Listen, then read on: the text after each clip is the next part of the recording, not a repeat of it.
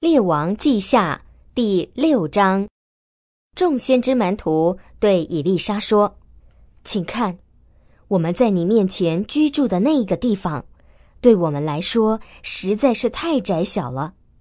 请你让我们到约旦河，每人从那里取一根木头，我们要在那里为自己建造一个地方居住。”以利沙说：“你们去吧。”有一个门徒说。请你和你的仆人们一起去。他说：“我会去的。”他就和他们同去。他们到了约旦河，就砍伐树木。有一个门徒砍伐木头的时候，斧头掉到水里去了。他就喊着说：“惨了，我主啊！这斧头是借回来的。”神人说：“掉在哪里呢？”于是他把那地点指给他看。他砍了一根木头，丢在那里，那斧头就浮上来了。伊丽莎说：“你自己拿上来吧。”他就伸手把它拿住了。亚兰王与以色列人打仗，他和他的臣仆商议说：“我要在某处某处埋伏。”神人就差派人去见以色列王说：“你要小心，不要经过这个地方。”因为亚兰人在那里埋伏，以色列王派人到那地方，就是神人曾告诉他、警告他的，他就在那里小心防范。这样不止一两次。亚兰王因为这事心中大感困惑，他召了他的臣仆来，对他们说：“在我们中间有谁帮助以色列王？你们不告诉我吗？”他的一位臣仆说：“我主我王啊，不是的，只不过是以色列的以利沙先知把你在你卧室内所说的话告诉了以色列王。”于是王说：“你们去看看他在哪里，我要派人把他捉住。”有人告诉他说：“看呐，他正在多贪。”他就差派车马和一大队军兵往那里去。他们在夜间抵达，围困那城。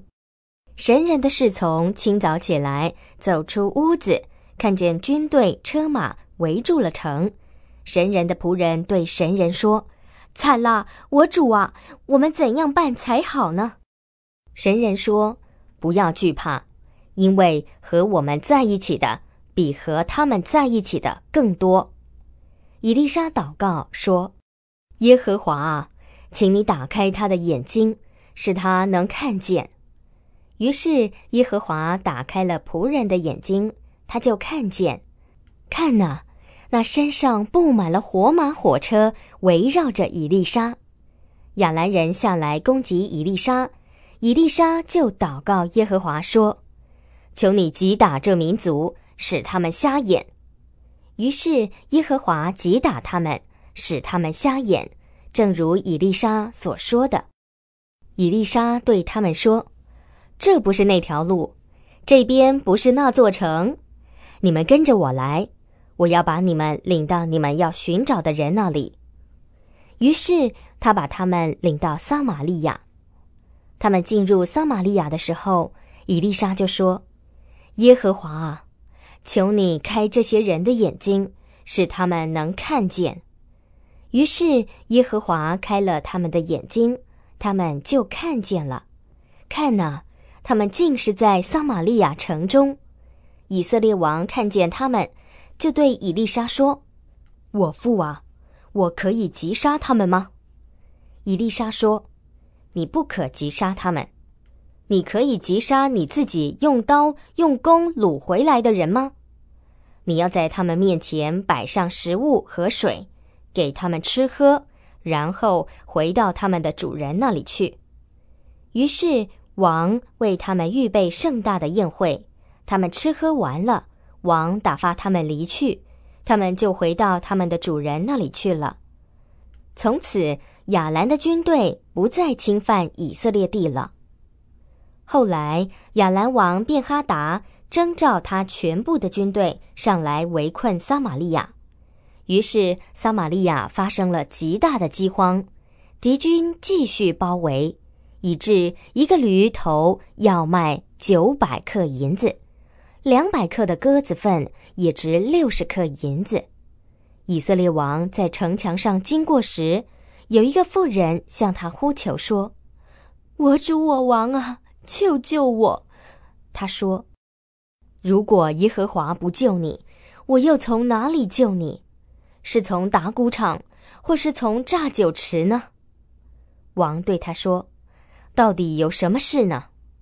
他说：“这妇人对我说，把你的儿子交出来，今日我们好把他吃了，明天我们可以吃我的儿子。于是我们把我的儿子煮了，把他吃了。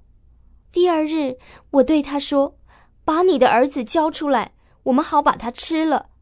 他却把他的儿子收藏起来。”王听见那妇人的话。